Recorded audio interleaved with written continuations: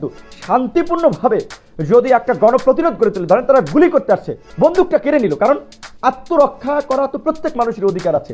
এবং এক হাজার মানুষ, আপনার আপনার কি বলব চার পাঁচ হাজার মানুষ যদি সামনের দিকে এরকম বুকটা টান টান করে যদি যায় যে গুলি চালাও বুকে তারা কিন্তু গুলি চালাতে পারবেন কিংবা কয়জনকে গুলি চালাবে? মানে অনেকটা ধরেন আপনার নদীর ঢেউয়ের মতো যে, একেবারে জোরে সব আপনার ঠেলে নিয়ে যাওয়া। তো এইভাবে পুলিশ যারা একবারে সাধারণ করে দাঁড়িয়ে আছে একবার ধুমছে যদি দৌড়ে যদি তাদেরকে ধাক্কা মেরে ফেলে যদি তারা সেখানে অবস্থান নিতে পারতো, তাহলে কিন্তু পরিস্থিতিটা অন্যরকম হতো। ওই যে নয়া পল্টনের আশপাশ, সেখানে অনেক আতঙ্ক ছড়ানোর জন্য বলে যে, ধরেন, এই গলিতে ছাত্রলীগ, যুবলীগ অবস্থান নিচ্ছে এই গলিতে। ছাত্রলীগ, যুবলীগ, আওয়ামী লীগের লোকেরা পল্টনের মোড়ের এই পার আসবে না, কারণ তাদের দানের ভয় আছে না? তারা কেন অযথা নিজের যান খোয়াতে আসবে? কেন তারা গুলি খেতে আসবে? কেন তারা পিটুনি খেতে আসবে? কারণ জানে, এইদিকে বিএনপি, জামাত সহ সমস্ত রাজনৈতিক বিরোধী দলের নেতা কর্মীদের অফিস এবং তারা এই এলাকা আড্ডা জমায়।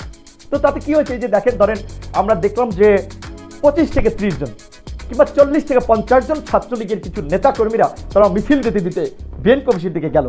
অলিগলি থেকে যদি বিএনপির নেতাকর্মীরা বাইরেই তো তাদের কিন্তু জামা কাপড় খুঁজে পাওয়া যেত না।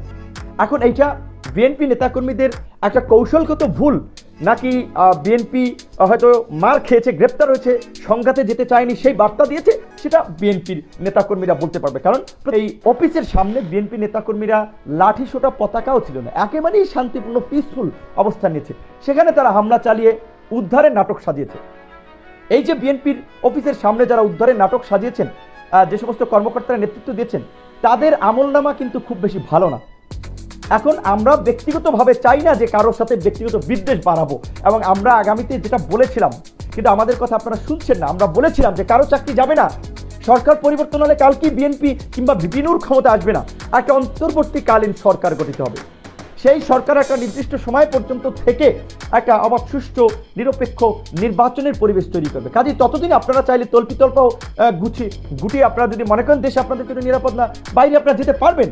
কিন্তু আপনারা এখন যে মারমুখী, আপনার এই যে পুরানো যে নাটকবাজি আপনাদের যে আপনার অসুস্থ, অসৎ কর্মকাণ্ড আপনারা করতেছেন, এগুলো মানুষের কাছে স্পষ্ট হচ্ছে। কাজী, আপনি যতই প্রশাসনের ঊর্ধ্বতন কর্তৃপক্ষ হন না কেন, শ্রীলঙ্কার পরিস্থিতি দেখেছেন না?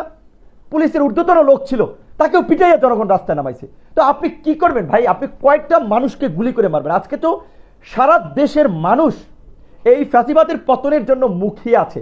সময় বুঝে, প্রেক্ষাপট বুঝে তারা কিন্তু রাজপথে নেমে যাবে। আমরা যেটা বলেছি, কারণ আজকে দেশের মানুষের কথা বলার অধিকার নাই, সভা সমাবেশের অধিকার নাই, এবং রাষ্ট্রের যারা জোর করে ক্ষমতা আছেন, গুন্ডা মাস্তানের ভূমিকা অবতীর্ণ হচ্ছেন, খুনিদের ভূমিকা অবতীর্ণ হয়েছেন। আপনারা দেখেছেন যে একটা বৃহৎ রাজনৈতিক দল, একটা উদার গণতান্ত্রিক দল, একাধিকবার রাষ্ট্র ক্ষমতায় ছিল।